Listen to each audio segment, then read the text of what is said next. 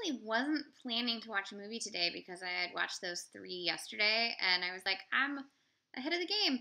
And then I got a reminder on my phone because I do that sometimes that a Lew Ayres film was coming up on TCM. Basically, when I'm scheduling, so I work at TCM. If you didn't already know this, and when I'm scheduling uh, like tweets and things, and I'm going through the schedule, and, and the film pops up that I want to see, I add it to my calendar on my phone, and my phone is synced to my computer, and then the two things remind me like a half hour before the movie comes on, and then I'm like, oh shit, I have this movie to watch.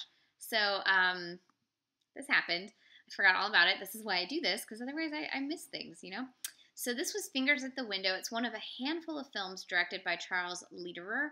Charles Lederer is most known for his collaborations with Ben Hecht, like um, Monkey Business and uh, His Girl Friday, and uh, some other screenplays that he's written, like Gentlemen Prefer Blondes, etc. He's mostly a screenwriter. He made a couple of movies. The, not, it's not the best. This isn't the best movie ever, but it's not a bad movie.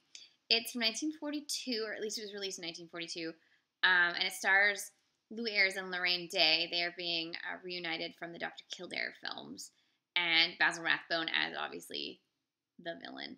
And basically, the plot is that in Chicago, there's a uh, epidemic of axe murderers, ha- murders happening, and it keeps being different lunatic lunatics, lunatics, and um, they're like, why are all these people just going nuts and killing people with an axe? Like, doesn't make any sense.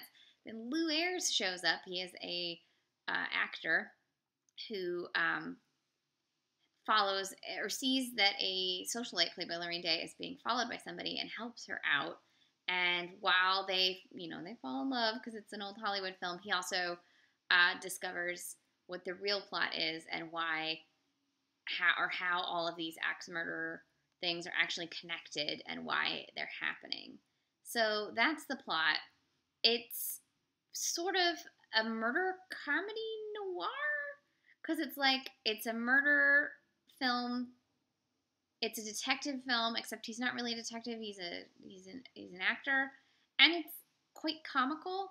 Um, and as uh, Jeff Lindenberger pointed out on Twitter, Lew's uh, comic energy in this is very similar to um, the comic films of Jack Lemmon. So, and and thinking about it, they have a very similar uh, intensity in both their comedies and their dramas. So that's interesting. I wonder if uh, Lemmon was a big fan of Lou, maybe.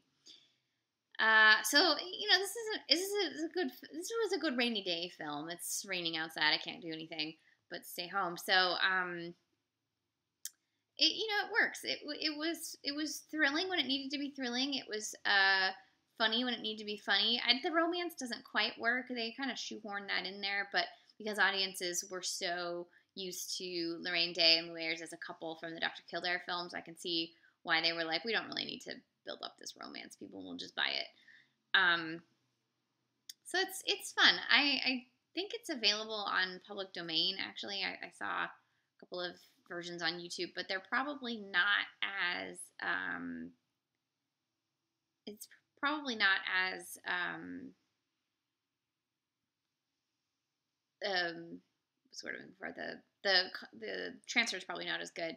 The transfer that um, TCM is showing is beautiful, beautiful, and it's on Watch TCM, so you can go and watch it on there if you have TCM and or Watch TCM. So I recommend it. It's fun. I love Ayres. He's fantastic. This was uh, 1942's Fingers at the Window, directed by Charles Lederer, and uh, it's a fun little fun little chiller. Um, hoping you have, been having a great couple of days here in 2017.